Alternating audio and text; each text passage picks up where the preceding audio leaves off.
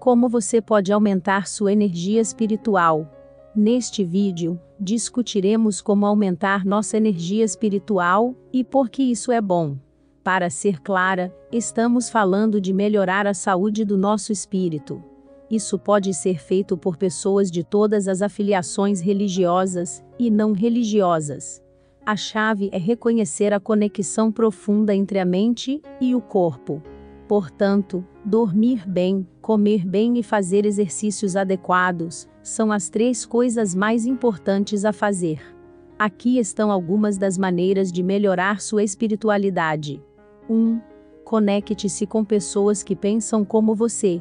Quando você se conecta com as pessoas que têm os mesmos interesses e ideias básicas, seu nível de vibração aumenta e, assim, a positividade entra em sua vida um curso online, um clube esportivo, um clube do livro, uma aula de culinária, etc., fazem a mesma coisa.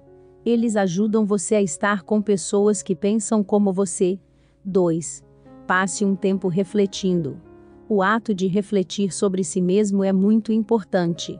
Para isso, você precisa reservar algum tempo para si mesmo, digamos 10 a 15 minutos todos os dias você precisa sentir como está seu corpo, da cabeça aos pés. Isso também é conhecido como exercício de escaneamento corporal. Escrever um diário também é bom e pode ter o mesmo efeito. 3. Seja bom para os outros. Servir aos outros desinteressadamente eleva sua energia espiritual.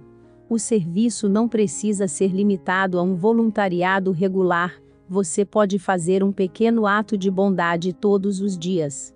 4. Conecte-se com a Terra. A natureza tem uma capacidade muito interessante de neutralizar tudo. Então, isso traz a um estado de calma. E somente nesse estado de calma, você pode se sentir à vontade consigo mesmo. A espiritualidade como uma jornada ao longo da vida. Aprimorar sua espiritualidade não é questão de poucos dias.